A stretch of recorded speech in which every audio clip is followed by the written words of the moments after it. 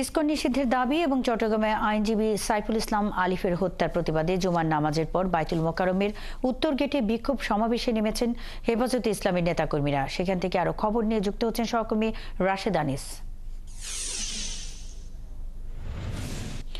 রাশেদ, কি বলছেন হেফাজতে ইসলামের নেতারা? নিরাপত্তা ব্যবস্থা সেখানে কেমন দেখছেন?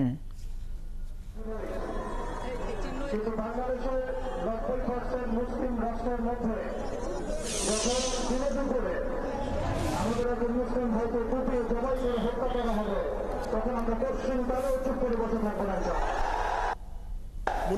নামাজ আসলে শেষ হয়েছে এখানে একটা পঁয়তাল্লিশে এবং এরপর কিন্তু আসলে বিক্ষোভ সমাবেশ। পূর্ব ঘোষণা অনুযায়ী বিক্ষোভ সমাবেশ যেটি ছিল, সেই বিক্ষোভ সমাবেশ কিন্তু তারা কিন্তু আসলে করছেন। এখানে হেফাজতের, হেফাজত ইসলামের সব সব সকল নেতারা কিন্তু আছেন এবং তারা যেটি বলছেন যে চট্টগ্রামে যে সাইফুল ইসলাম হত্যা অ্যাডভোকেট হত্যা মামলা, এবং হত্যা যে, সেটি আসলে চরম নিন্দনীয়, এবং এর সাথে যারা জড়িত রয়েছেন, এবং রয়ের যারা জড়িত রয়েছেন, তাদের আসলে দৃষ্টান্তমূলক শাস্তির দাবি করেছেন।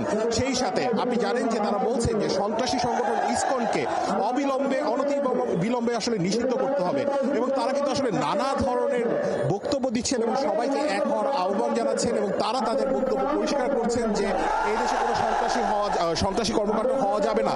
আমরা যদি একটু মুন্নি তারা এখন বক্তব্য দিচ্ছেন, আমরা যদি একটু সরাসরি যাই এবং সরাসরি শোনার চেষ্টা করি যে ওনারা আসলে কি বলছেন।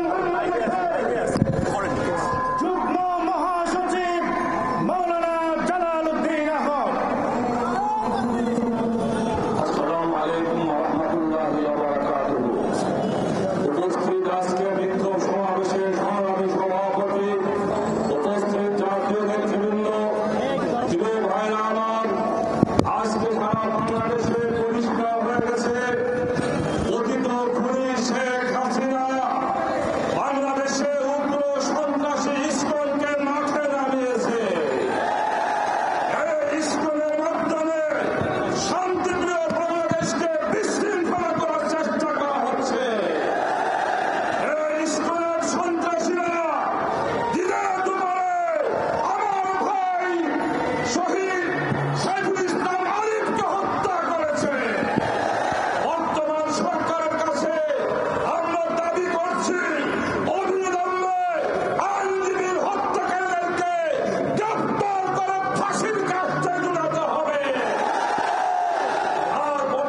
বর্তমান দানিস আমরা দেখছিলাম আপনি বিক্ষোভ সমাবেশে রয়েছেন সরাসরি, সেখানে বক্তব্য রাখছিলেন নেতাকর্মীরা। আপনি আছেন, সেখানে থাকবেন।